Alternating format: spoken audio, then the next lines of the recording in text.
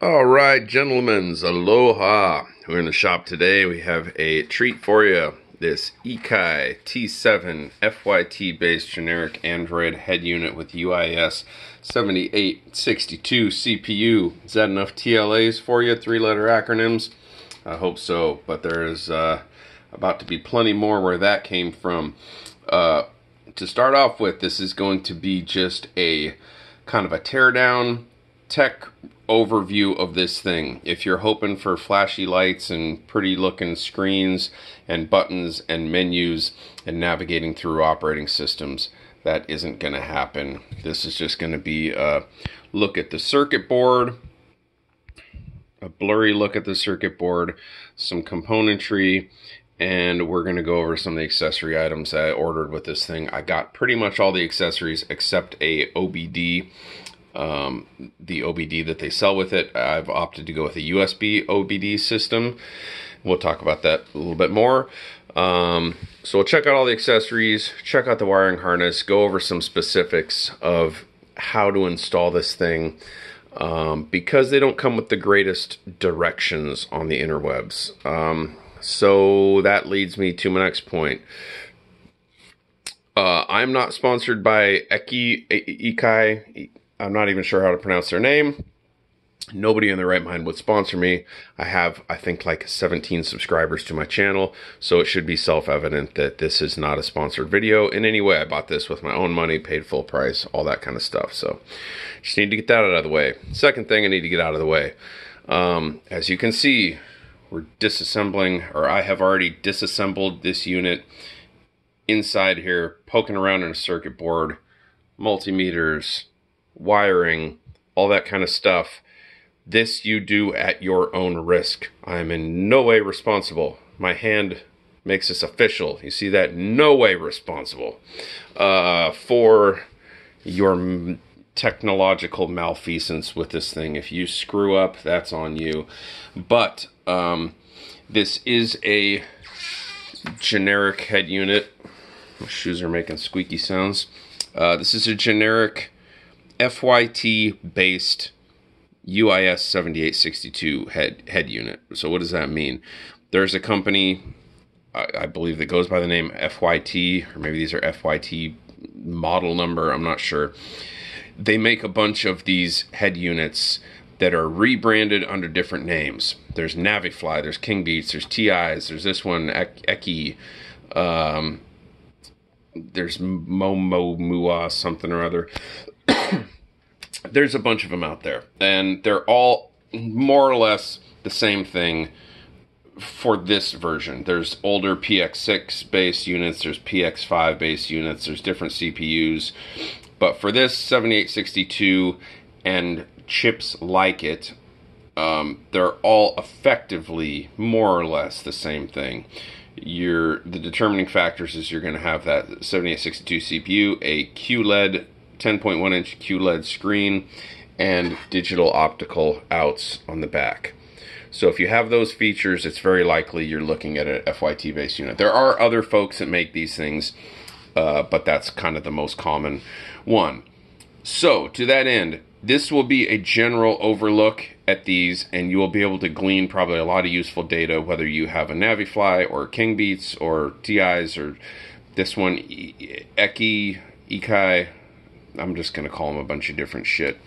Uh, but there are dip- different implementations for all of these. There's slightly different software. The connectors might be moved around to different spots. The wiring harnesses are going to be different depending on your vehicle. I happen to have a, a Toyota Land Cruiser 200 series, so your harness and facade implementation may be different on your vehicle. So this is just a general look and an overview. Again, going back to this fair warning, I'm not responsible if you screw this thing up and make magic smoke and release the, the pixies. Um, that's on you. This is just going to be a general look, and hopefully it will help some folks out there. And it will be very helpful if you're buying this exact Ekai T7 uh, unit and you have a 200 series Land Cruiser. You're in the right spot. Um, but if you're looking for a pretty operating system dive and menus and screens, this isn't the right video for you. So I would suggest you move along, partner. This is going to be a real um, nerdy look at all this stuff. And then finally, again, to that end of me not being sponsored by Ekai, uh, they have excellent customer support. I talked to TEYES, I talked to Navifly. They didn't sell a unit for my device. TEYES was horrible. They do not understand English, and I do not understand what they're saying back to me. It took me like four days to get a simple answer to a simple yes or no question. It was like pulling teeth. It was a big waste of time. At least on their AliExpress customer support was absolutely abysmal. Uh, King Beats read my message, never even got back to me. Some other folks never got back to me. Ekai has not only got back to me, they've been excellent, man. Like they re- respond within a day with pictures. Dude even took a video of how to hook up some stuff, um, like a custom video specifically for me, showing me some specifics on this thing. I've been asking him a bunch of questions about how to hook all this stuff up, which we'll, again we'll go into in a second. Sorry for the long rambling in- intro. Six minutes into this video, we haven't even got there yet. But anyway, highly recommend Ekai, at least in terms of their customer support. I haven't yet installed this thing to see like does it actually work, but uh, I assume that it does. And so far, my experience with them has been great. Okay, let's dive into the specifics of this. I'm just going to look over the circuit board here, hopefully without any glare. This up here is your car radio antenna, obviously. Come on, that glare off of the CPUs. okay. Let me get a little pointer thing here. So, car radio antenna should be obvious. This is the 5G antenna, 5G Wi Fi that the government uses to monitor your thoughts and control your brain.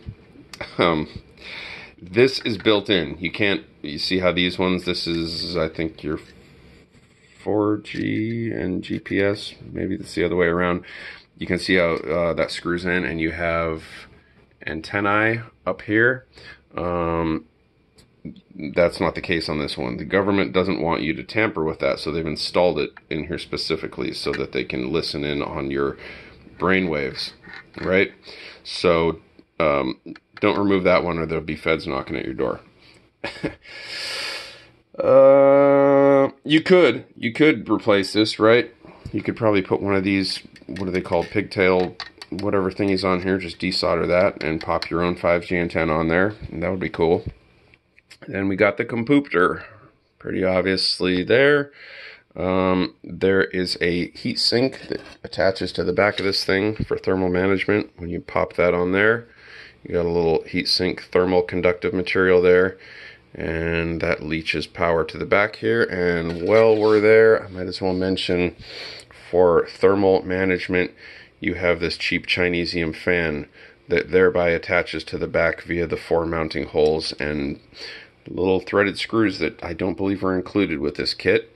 But um, you can see the thermal um, pad comes to the back there, leaches heat, dissipates heat from the CPU computer up to this cheap Chinesium metal uh, facade, and via the process of entropy releases the said heat off into the universe. With the help of this, I've opted to get a, uh, a Noctua fan because it will be quieter and move more air. It's like 12 decibels or something, which is about akin to a person breathing. It's very, very quiet. Um, and it's twice as deep as this 40 by 10 millimeter fan. So I'm going to stick a Noctua back there, call it a day. These two wires uh, connect to. Um, this is one of the questions I had with Eki, Ekai, Eki, E K I Y, whatever. They connect to the black and red wires here, pins one and two on this power connector, which go um, over here to the power connector. So this, if I recall, is ACC ground and positive. Uh, this third wire we'll get to in a second here. This is your reverse uh, trigger wire. Uh, but anyway, fan positive negative connects those positive negative. Check your specific wiring harness. Those should be black and red and correspond accordingly. But um, again, just be careful how you wire that stuff up. All right, moving right along. Connectors up here, we'll go over all of that stuff. And we got some co componentry on the PCB here. That is maybe I can't quite read that. Maybe it's a USB controller. Not sure. Got resistor and capacitor land. Let me zoom out a little bit. So overall, it's a really nice looking uh, PCB. Big 6800 microfarad capacitor on the power supply section for filtering.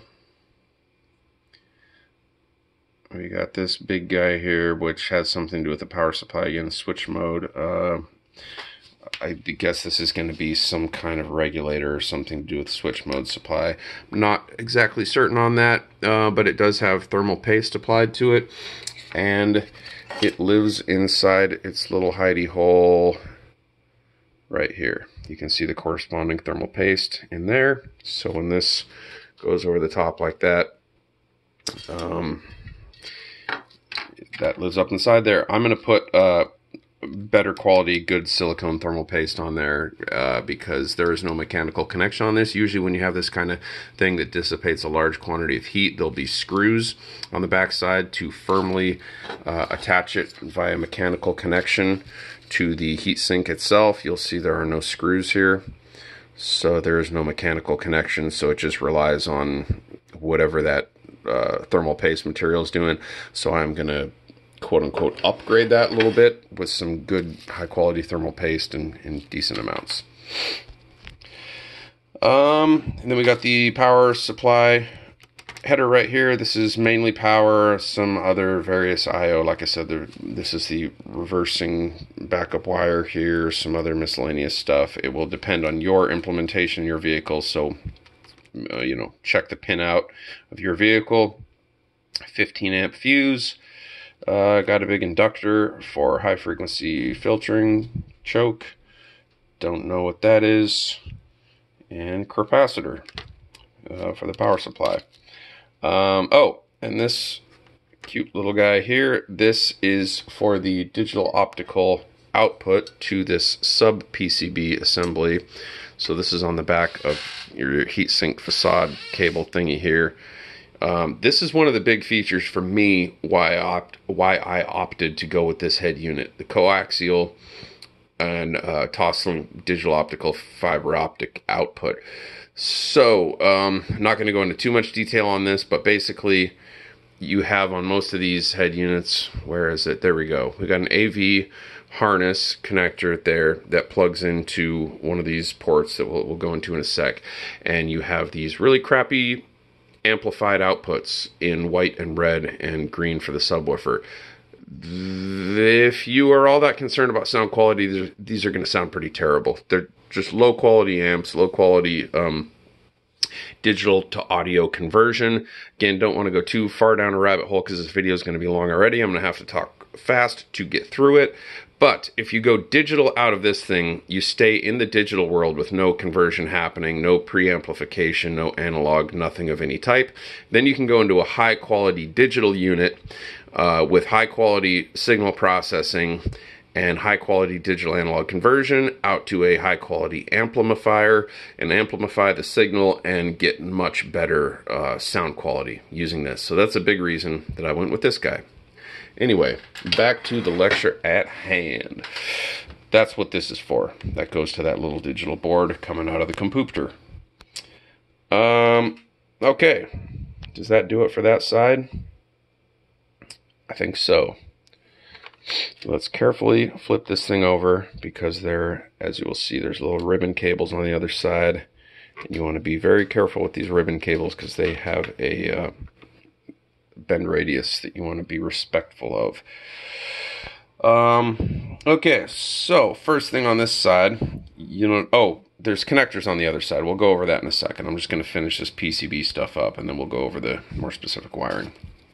So you got an SD card connector here. Uh, there, sorry, SIM card connector. This is kind of odd because you also have a SIM card connector on this AV wiring harness that comes from the factory. It comes pre-blurred from the factory like this. You have to de-blur it yourself. See, there you go. Um, you got a SIM card connector right here as well. and you pop your SIM card in there, close it, and then slide it one way or the other to lock it in place. There we go. Now it's locked in place. Uh, on this specific impl- implementation on this FYT, uh, sorry, this this T7 Eki Ikai unit, um, they're telling me to not use this SIM card slot. Maybe on your implementation it could be different. I don't know, but that that's where the SIM card would be if you're just looking at this thing from the back. That corresponds to that hole. So on the Ekai T7, don't use that. You're probably not going to use that on yours. If you have one of these SIM slots on your AV connector, that's where you're going to pop your SIM card in. Moving right along. Got a little black ribbon cable there. We got resistor and capacitor world. We got CPU with my fingerprints all over it. Uh, we'll wash those off with the isopropyl before the end of this. We got quality control passed, which I prefer to quality control failed myself. We got, oh, right here. See this little chip, the more astute amongst you might recognize that it says 8 plus 128. Oftentimes these things come with 6 plus 128 or 6 plus 64. That refers to the gigabytes of RAM and the gigabytes of storage. Um, now, this says 8 plus 128, and it also says it right here 8 plus 128. So you know that it has 8 gigs of real RAM because it says it right there on the sticker, and you can't lie in a sticker.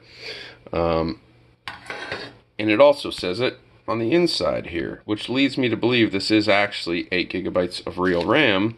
And this also, I believe, uh, is going to be the RAM chip underneath this because it's right next to the CPU. This common way to do this is put it the the physical proximity close to the CPU so the front side bus has the lowest latency possible. I'm guessing if we had the technology to take that sticker off of this chip and look at the words that it says under here, which someday we will have the technology to perform such a feat. I'm guessing if we were able to do that, we could see that this chip is probably going to say 8 gigs of RAM. I was uh, looked around the circuit board for four two gigabyte chips or one eight gigabyte chip. I don't see it anywhere over here. I think you have some storage.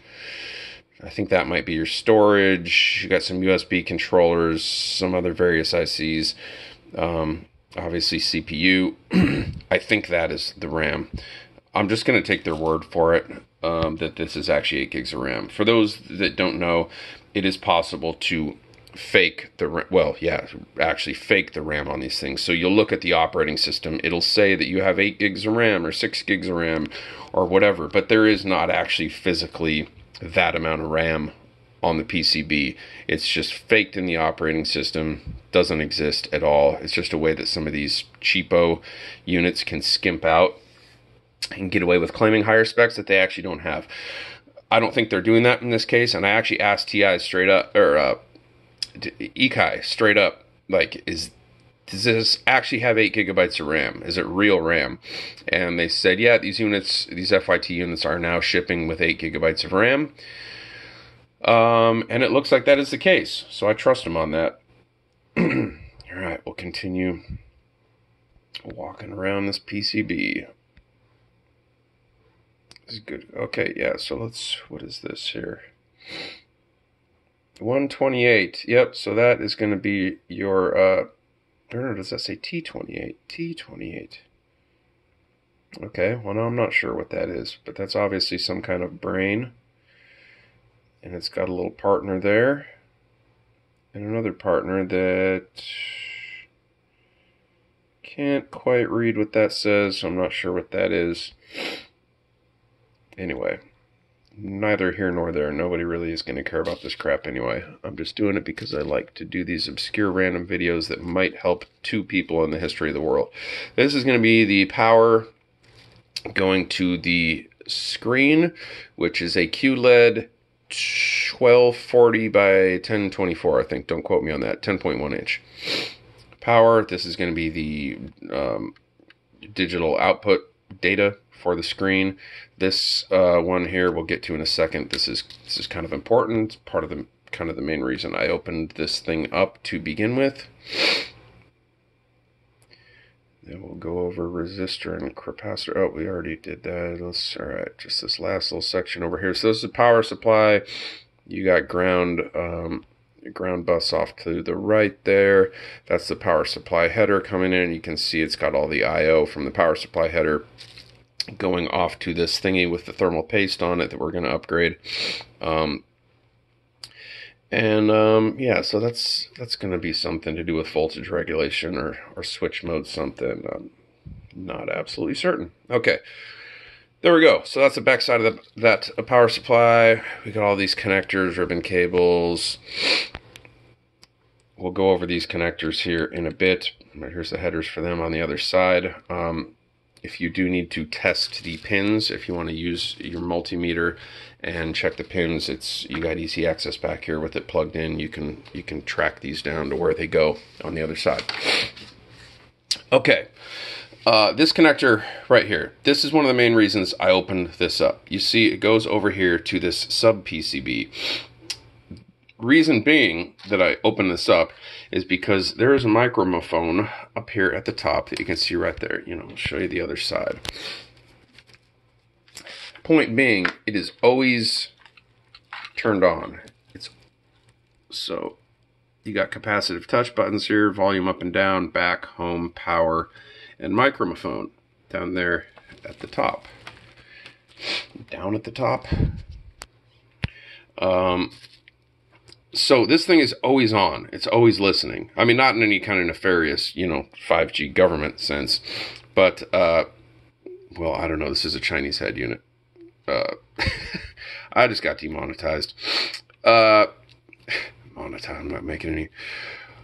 Whatever point being, I'm trying not to go off on any tangents here. And sorry if I'm talking fast. I'm just trying to get this video over over with. We're already 22 minutes into this thing. It's going to be a long video and a lot of boring crap. So I'm trying to fit in as much information as I possibly can. Okay, this is always on. It's always listening. So if you plug in an external microphone, which a lot of people do because you're going to generally going to get higher sound quality, external mic right here on your AV connector, same one with the SIM card, then your external mic will be active and it at least what this unit is going to look like this. You can look this up. I believe this is a Finger Lakes mic. You can look these up on Amazon. They're about 10 bucks and get decent reviews and they mount to wherever they go.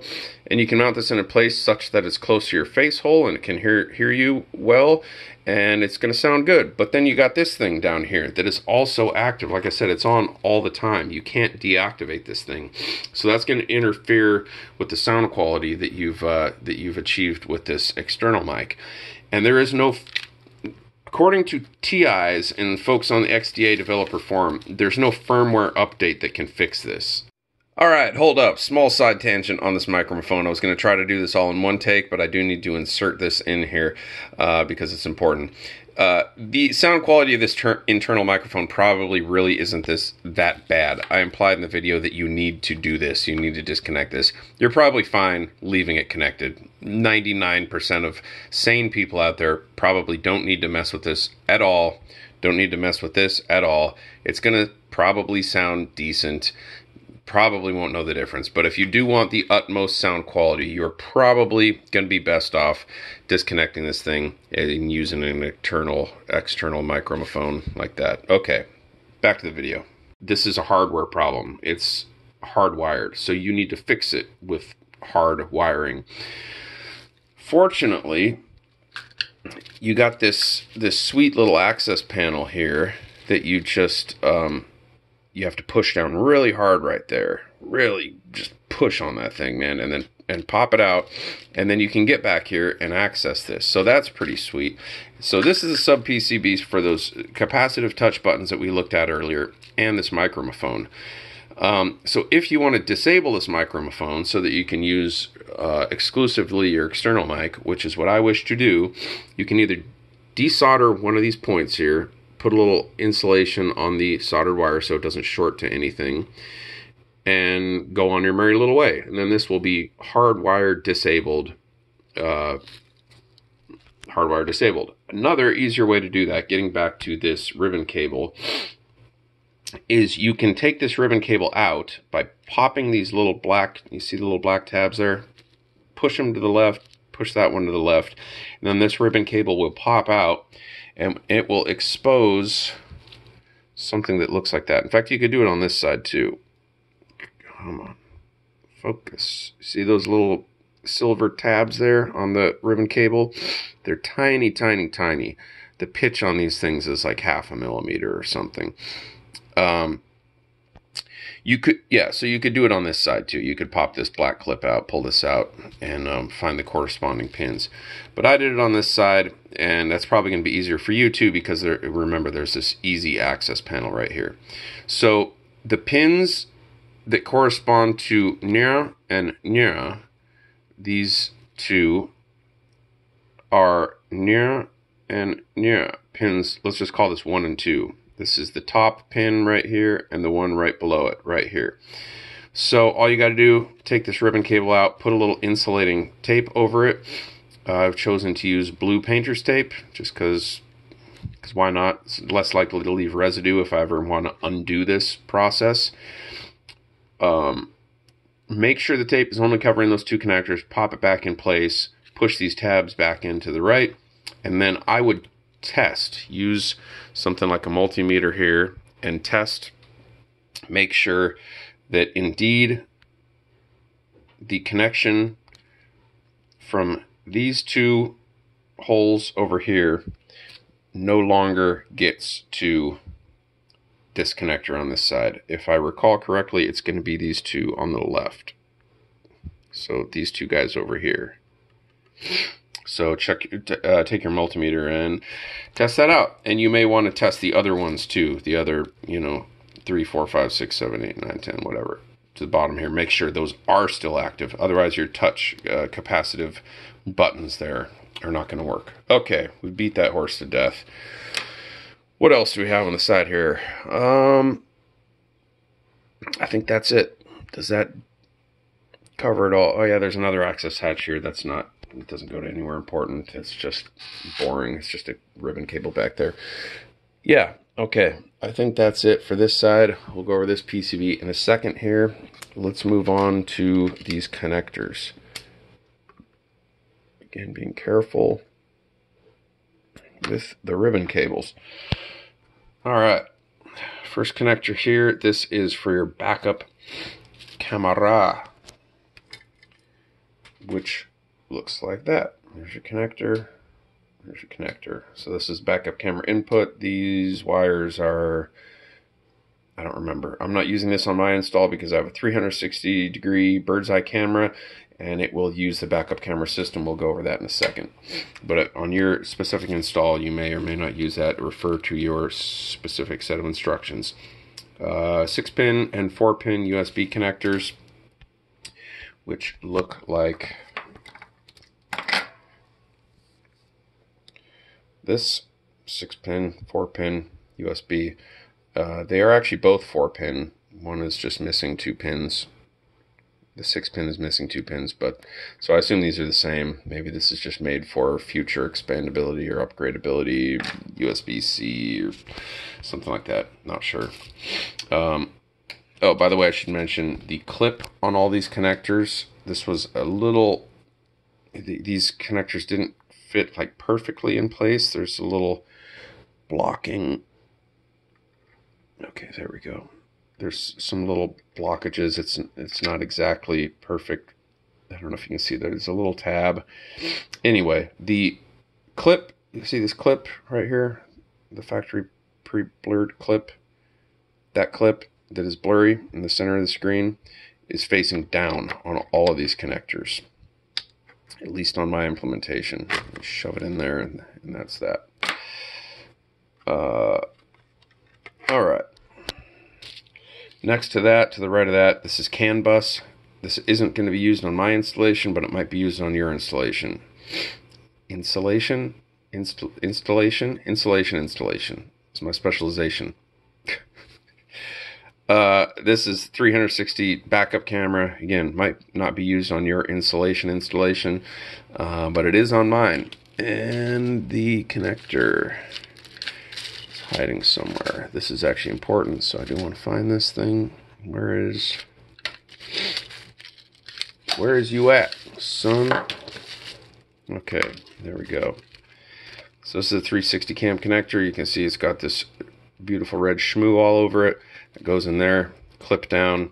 Um, and here's what's important about that connector. You see there are red wires on these three.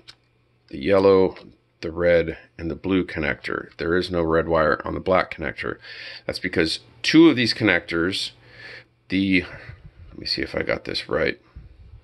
Correct. I know that red is not right. Red is left mirror, and this red, red trigger wire goes to your left turn signal um, wire on the other side of this. Okay, so getting a little complicated, getting into the weeds. Again, refer to your specific instruction manual for more instructions. But what I mean by that, where's the oh the other end of the red wire is in. I've already got it installed over here in my mirror. So let's let's do the blue wire. So this blue wire is your right mirror turn signal. This wire, this is the end that will plug into the camera itself. This wire you want to wire to your left turns sorry, right turn signal. Blue is right. Positive output, positive 12 volt output for your uh, right turn signal. The other end, according to my instructions, is you don't connect this at all. This is just open. Reason being is that this wire is actually connected to one of these pins internally here, and I did check that with the uh, with the fluke meter to confirm that this red wire does indeed go to one of these pins here, and then it travels down here to what appears to be pin 1 on this connector that we just looked at with the shmoo. So that wire only connecting on this side and not connecting on this side is able to talk to the computer via this connector onto the PCB. Okay, clear enough. The rest of this, I will leave it up to you to figure out the install. It's, it's um, too, too, I'm not going to go into that in this video. It'd just be too long. Is that all I have to say about the 360s for now? Let's take a quick look at the 360s. The backup, eh, on my implementation, the front and back ones are square like this, and the side mirror ones are round like, like the one that I've lost. Here it is. These are the round ones. And it comes with a handy dandy, where did I put it? I was using it. It's over here on my workbench. A hole saw. High speed steel hole saw. Hole saw. Saw. Saw. So you don't need Forstner bits. Forstner bits. Staw. Snur. Forstner. Alright, so that's pretty cool that they include that. So you can easily drill a hole in your um your side mirror. So you see I got this wire run up inside here, side mirror coming out the, zoom out a bit here. Going into the side mirror, going up, up in there. This is the trigger wire that'll run to the, um, the turn signal. Positive coming out here, going over here, currently living right there, but you take that hole staw and drill a hole wherever you drill it, situate it. Okay, that's that should be that should be obvious, or at least uh, whatever. Where were we? Oh, the last connector here. That's going to be what I'm calling the AV connector, audio video I/O. Um, that's the same one that has the uh, here it is, the same one that has the SIM card on it. So, got the SIM card, which we just looked at. Got audio, video, front left, front right, back left, back right, green subwoofer output, microphone input, and some video crap, some video inputs and outputs um, for various thingies. So that's what that is. Um, okay. think we're good on this. Moving right along. Um, TPMS sensors. This is one of the options that I uh, decided to go with. They look like this. You can loosen this Allen screw and then the end of this thing will flop around. This is the transmitter side. Let me get this lens a little less blurry. Come on. There we go. transmitter side, you do th- these head units will, as I understand, not work with factory TPMS sensors. You do need to order the aftermarket, the proprietary uh, sensors from one of these guys. Um, so to that end, now let's go over the rest of this. I found this kind of cute. It's got a TPMS warning light on the valve stem cover. That's kind of cute, right? And it looks like an old school Mariners Trident logo. The best team in baseball, Seattle Mariners. What, what? Um, so, anyway, you got that. And then this is the receiver for the TPMS, um, and it is USB. So, to that end, I will mention you got your USB connectors right here, right? We went over that. Um, one of your USB connections is going to be taken up by this blurry. Good God. Good golly, Miss Molly. Uh, this blurry TPMS receiver.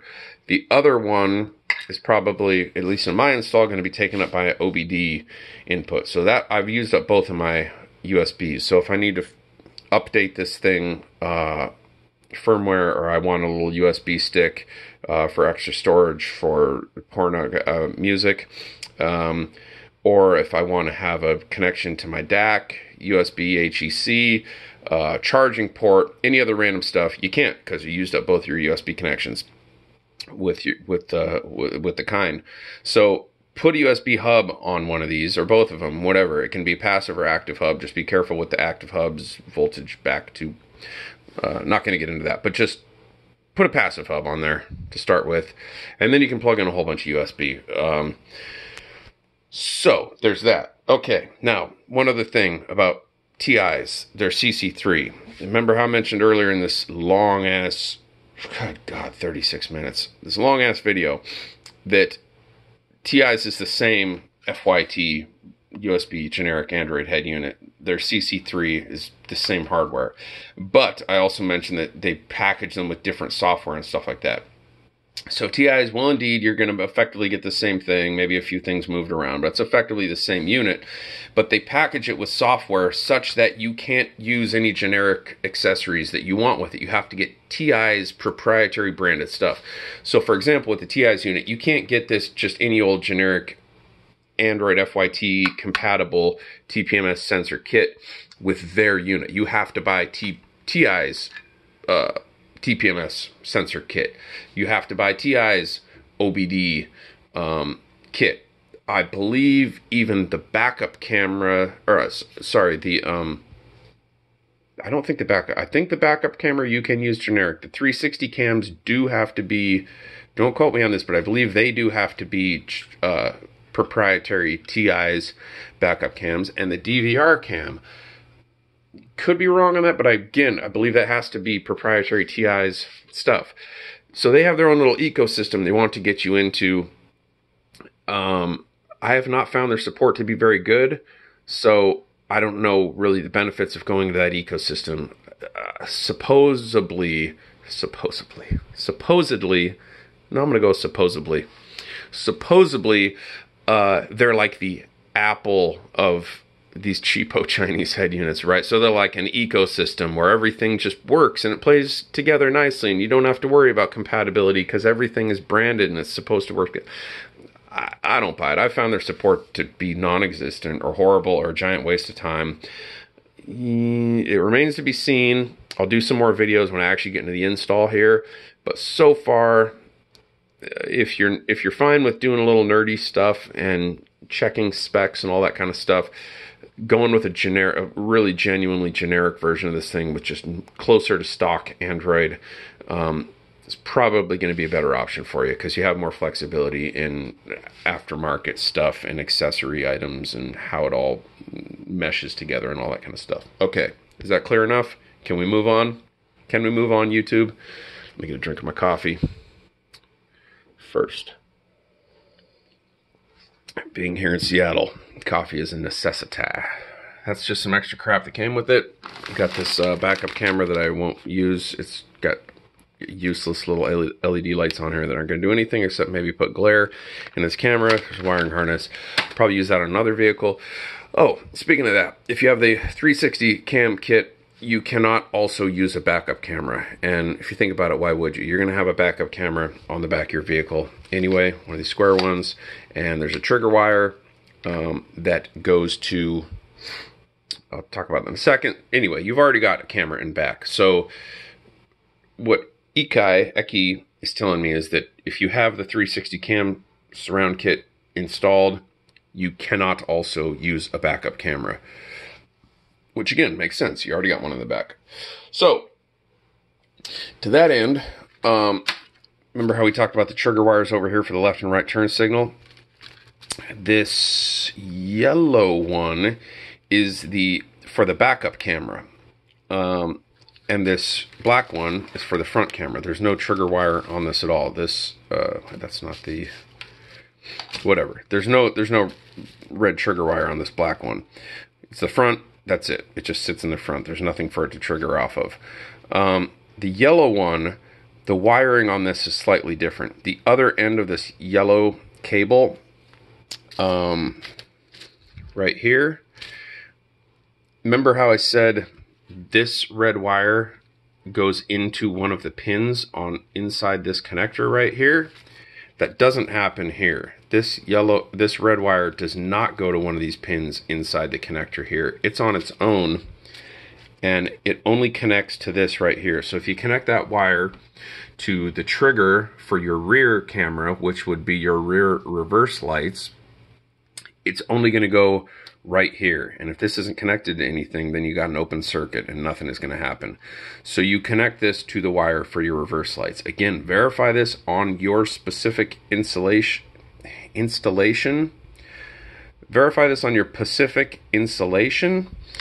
Um, but on mine, the reverse wire is pin 3 on this power connector.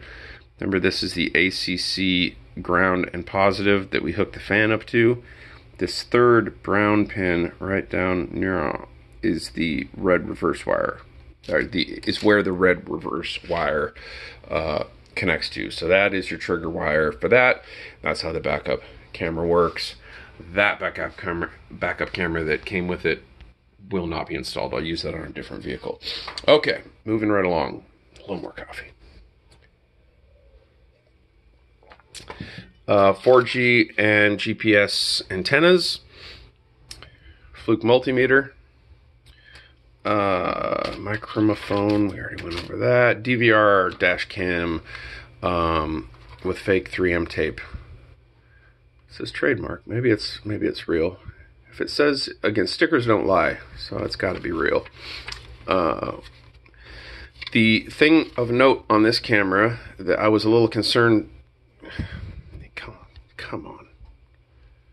All right, there we go.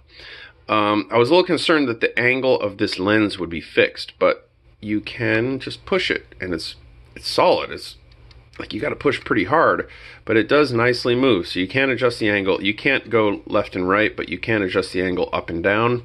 So that's awesome. It doesn't mention that in the product listing, but uh, that is the case. And then you got little wiring here. This plugs into I don't know wherever it plugs into. This is another backup camera that I bought with that. This is actually a Sony sensor uh. Probably a pretty good looking camera. I'll put that over with the other one that I'm not going to use. Stick it on another vehicle. Okay, we're almost there, I promise. This is 43 minutes. Good God, if you're still watching this, you need to reassess your life priorities and time management because this is a stellar I'm gonna, yeah, this is a stellar waste of time. Um, but again, I love making these videos because it's extremely extremely obscure. Maybe at some point it will help like one or two people out there. And um, so I just think this is kind of neat to do because nobody else in their right mind is crazy enough or uh, ridiculous enough to go into such a deep dive on such a thing. Uh, and again, I'll be doing, um, I don't know if I mentioned it, but a series of videos. So once I actually get this inside my vehicle and get it installed, we'll do another look at the nice shiny uh, backlit QLED, QLED backlit, whatever. We'll get a nice look at the screen here and go over all the operating system and look at all that stuff. This is just a, a, a techie dive into this whole thing. Um, okay, uh, before I get onto this, let's go over this wiring harness here. This is the power plug the power in right here. This is going to mimic your factory head unit. So all of these uh, male or female or transgender, whatever connectors right here are to mimic the factory Land Cruiser connections right there. So your factory wiring harness would normally plug in there. Instead, it's going to plug into all this mess right here. If you can't figure that out, you probably shouldn't be watching this video. Just hire somebody to make this installation and uh, call it a day. This is CAN bus box here. This is a magical box that you plug in. You tell your head unit what type of vehicle that you have. It talks to that. Everything's happy. You can figure that out in your installation notes. It will be different for your vehicle unless you happen to have a Toyota Land Cruiser, in which case, good for you. Um, if you have a Honda, whatever, you got to go into your OS, tell it what that is. Um, what else? Anything else of interest on this wiring harness? I don't think so. Um, one thing, this does plug into that guy right here. This is for some factory vehicle specific controls. So this plug right here goes to um, obviously this PCB, which has LED modules on the other side that illuminate these lights for HVAC controls, media mode, on off. This is an actual physical analog uh, button switch on the inside. And then you'll see you got this passenger light here. Um, but this is not just a light uh, you can see we got LEDs directly on the PCB, but then you also have this ribbon cable here.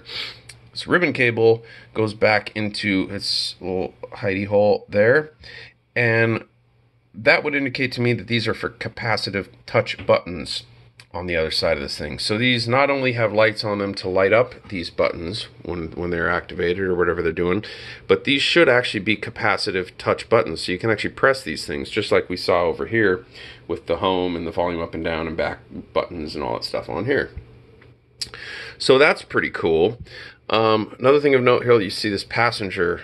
This is just specific to Land Cruiser people, but this is a vehicle that this is a uh, something that will maybe give you an idea of how your vehicle is going to operate and how this works. Again, this facade looks like that facade for the Land Cruiser.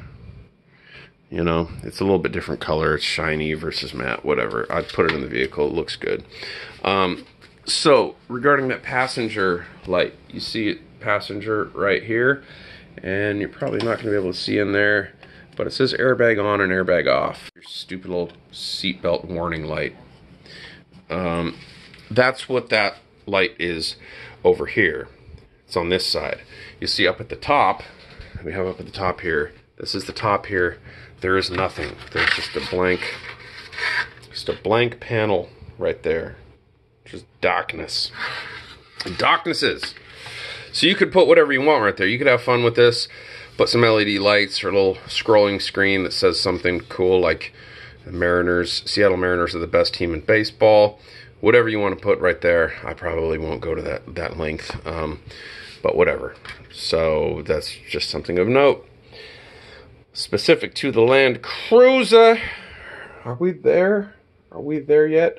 Oh, one other little minor detail regarding the 360 surround cameras. Do yourself a favor and get yourself this calibration mat they're like 20 bucks, 25 bucks or something. There's four of them, I think, unless they skimped. Nah, there's another one hiding in there. Yep, there's four of them. They're a checker pattern, checkered pattern. You put them down on the ground. Your cameras look at them, and then it can get a sense of the lay of the land and how the cameras look. You can use this to calibrate your mats. So highly recommend doing that. Otherwise, your 360 cams probably aren't going to look all that hot.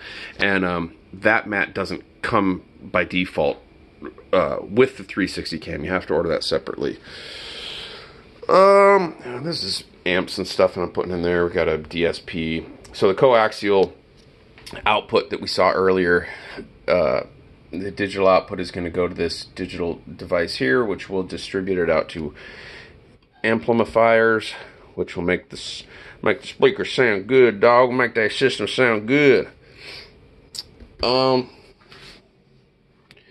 I think that's it. Are we there? Are we there yet? Let me just do a double check scan over this. We went over that. We went over thermal management, the Chinesium fan, wiring harness, CAN bus box. We went to way in depth on the 360 TPMS. Yep, I think that's it. Okay, I hope that you have enjoyed this video in all of its 50 minute glory. If you're still watching this, good God, go outside, get some sunshine, go for a walk. Um, if you have any questions, feel free to direct them to EKIY. Oh yeah, I'll leave on this. Dude, this EKIY brand has really, really been awesome. They've been extremely helpful. If you're going with one of these generic FYT units, at least as of this taping, December 2021, early 22, they've got some killer customer support. Like it's up there with some of the best customer support I've ever had from any company, let alone a, you wouldn't expect it from a cheap Chinese generic head unit, you know, supplier, rebrander, whatever. They're awesome. And again, I'm in no way sponsored by them. No way. Nobody in their right mind would do that to me. I, I have I have uh, no subscribers. Uh, so go with the EKIY or the TEYES. I don't care. Whatever. It's all just a bunch of particles. This is all just particles. Doesn't matter. Nothing matters. All right. Merry Christmas. Aloha. Send you love.